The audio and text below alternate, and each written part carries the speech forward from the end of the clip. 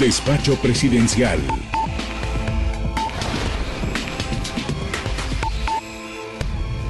En su gira de informe de logros y avances, el presidente Álvaro Colón visitó la semana anterior los departamentos de Quetzaltenango, Quiché, Sololá, Chimaltenango, Totonicapán, Suchitepeques y Retaluleu, donde fue recibido por líderes de las comunidades y personas beneficiadas por los proyectos que ha impulsado durante su gobierno. En su discurso, el presidente Álvaro Colón informó de los avances en seguridad, salud, educación y de los programas presidenciales de cohesión social. ¿Qué hace distinto a nuestro gobierno a los gobiernos de 50 años antes? Pusimos al ser humano en medio. Dijimos, vamos a trabajar primero por el ser humano, por las personas, por los hombres y mujeres de Guatemala. Y empezamos donde nosotros, a nuestro criterio y nuestro programa de gobierno decía, por donde más podíamos erradicar la pobreza, educación y salud. Solo en el departamento de Quetzaltenango se contrataron 2.107 maestros nuevos. Y aquí en Quetzaltenango también aumentó en 20.352 los niños y jóvenes en el sistema de educación. Y se abrieron 177 establecimientos de educación. Pero lo más importante es el diversificado y básico. Yo recuerdo cuando estaba en Fonapaz en los años 90, cuando los jóvenes pasaban de primaria a básico, tenían que ir al municipio vecino o a la cabecera departamental y la mayoría de familias no tenían los recursos para mandar a los jóvenes a su básico. Y en el básico se aumentó el número de, alumnos en 83%. Es decir, si antes había 100 niños, ahora hay 183. Y en el diversificado se aumentó en un 65%. Ojalá Dios me dé vida para que los jóvenes que están hoy en básico y en diversificado, poderlos ver entrar a la universidad. Y ahí es donde se le abren las oportunidades a los jóvenes y donde se puede empezar a salir de la pobreza. Educación lo dejamos fortalecido. Ahora el gran reto para el futuro es mantener eso y seguir construyendo cuatro mil aulas que construimos en estos cuatro años y esperaríamos que esa construcción de escuelas y de aulas continúe. El hermano gemelo de educación se llama salud. Salud y educación son como los dos servicios básicos, eh, fundamentales de, de la sociedad. Y en el tema de salud, de 800.000 consultas al año en los hospitales nacionales, este año vamos a terminar en más o menos 2.500.000, 2.600.000. Cuatro veces las consultas. Y aquí en Totonicapán, las emergencias aumentaron en 16%, la atención a emergencia. La consulta externa de 6.000 que se hacían al año, ahora hay 28.370.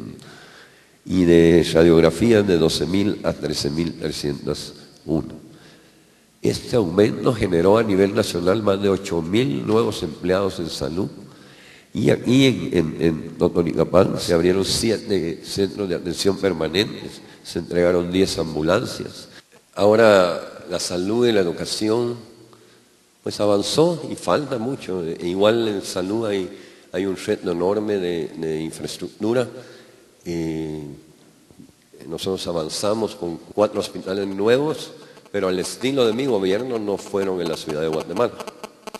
Uno fue en Santa Cruz Varías, ahí en el municipio que está hasta donde el diablo perdió el poncho allá al norte, norte de, de el otro en San Pedro Necla, en la parte baja de Huehuetenango, el otro en, en Patzún, y el otro en Chimaltenango y se reconstruyó un hospital de niños en Puerto Barrios.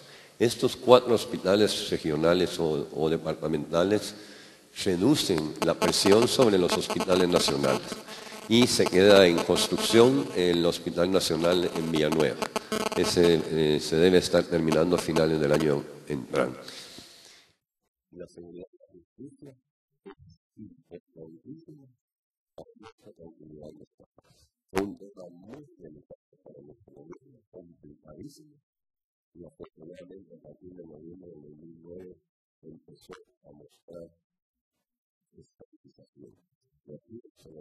Segundo departamento más seguro de España. El primero es el muy seguro está Soledad. Ya en España hay un montón de. Es el segundo departamento más seguro del país con menos seguro. Desde el año 2000 al año 2020, la tasa de emisión de casi 10.000 habitantes venía creciendo si hubiéramos seguido como veníamos en los ocho años anteriores al nuestro, estaríamos en 55. En el noviembre del año 2009, la curva se para, deja de crecer. Eso es lo que es. Es un alcance calor. Y esta vez quizás para abajo del 2010, y aquí en el 2011 bajar otro poquito. Y empiezo con el año el crimen organizado, el narcotráfico, es responsable del 42% de los crímenes país. Directamente. Este crimen organizado, muchos matemáticos y matemáticas conocían los nombres, se hacían se de ellos, además tocaba. Las partidas importantes del crimen organizado nos está dando ya una inteligencia civil muy fortalecida y el conocimiento para capturar la estructura. La la famosa del. Es una cuestión hace muchísimos años y ahí no puede haber privada. 40.000 cabezas de en dos semanas. Ahorita no hay, hay, hay, hay ganado, pero recuperaron 138 mil hectáreas que estaban en la cinta de nada. Y lo que es en una de las visitas, voy a destruir una casa de ellos en un caterpillar. Y esa es una reserva forestal es un lugar y que queda como que sea. Recupera, trabaja con el de guerra, encontré el primer soldado, y creo que 75 policías en 356 kilómetros. Ahora, 1.200 soldados, era el que los de la. Y aquí en pues vamos a dejar un muy especial. La. El otro día vi como ciudades como Vida, y había gran gusto de esa capacidad que vivimos a Pero ¿qué beneficio va a traer esa, esa consecuencia? La franja transversal del va a convertir desde el mentón de el estero y saber otra costa sur.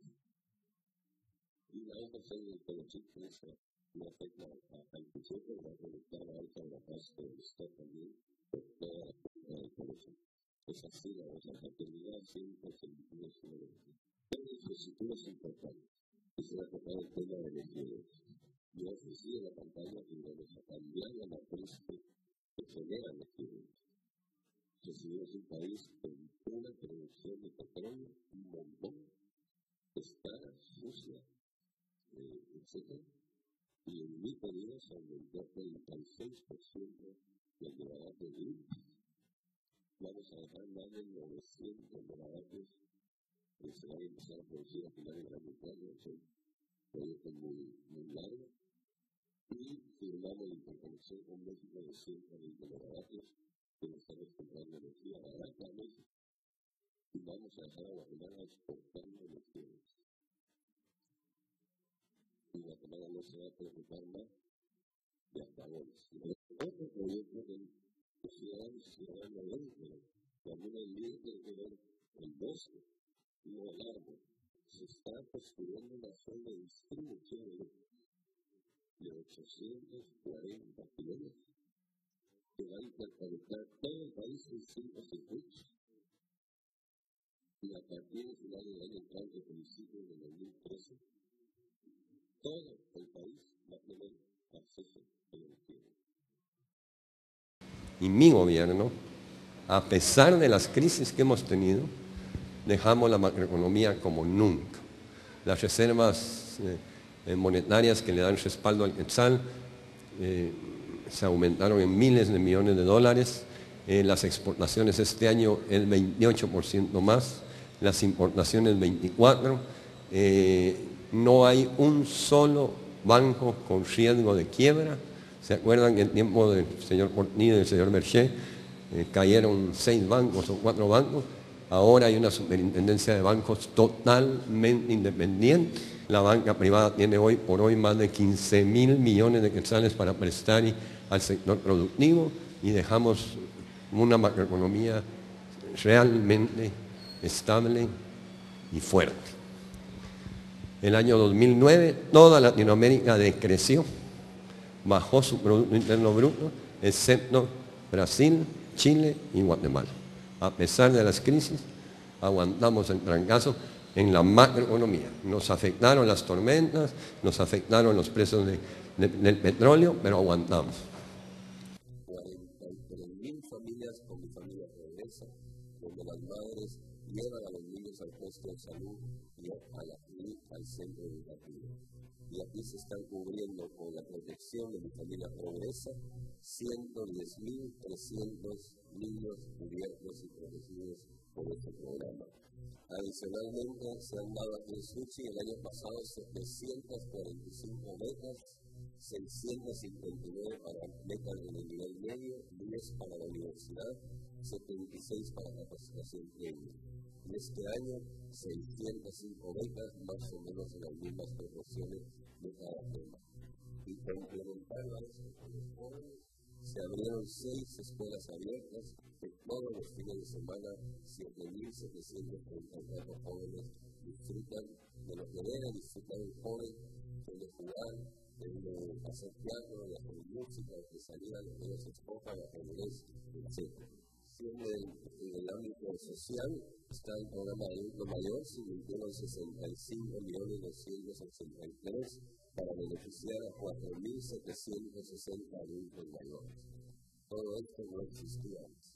Y si sumamos al adulto mayor más mi familia pobreza, todo ese dinero que se invierte nuevo, los 65 millones de adultos mayores y los 71 millones de mi familia pobreza, el dinero que se queda en la sociedad más atletas, es el dinero que se queda en los municipios y que mejora la economía entre el Palacio Nacional y la Casa Presidencial está la Todos los días atendemos entre 600 y 1000 personas, 168 mil personas han sido beneficiadas con sus sillas de fuera, con sus con, sus a veces, con lo que necesitan, familias extremadamente pobres que no podían comprar sus suplementos de salud, a veces son unas láminas, a veces son entonces todo eso social, bajo el paraguas de la producción social, no diría que va a ser un legado de nuestro gobierno para las actuales y futuras eh, generaciones. El motivo de estar aquí todas las señoras y es para darle gracias a nuestro señor presidente. Yo especialmente vengo a darle una gracia, porque yo jamás tuve mi bebé, tengo parálisis cerebral y lo que le dije. Entonces también agradecía porque ellas dieron vueltas para que yo tuviera energía y la economía para que recibo para mí. Gracias, señor presidente. No puedo pagarle el único que le va a pagar todo lo que usted dijo hecho. El Dios es el único que debe compensar las obras que hacemos para los demás. Estoy muy agradecida, yo ya no puedo trabajar porque tengo que dedicarme a mi bebé. Yo trabajaba, pero desde que lo tengo a ya no puedo. Muchísimas gracias, señor presidente. Y que Dios lo bendiga.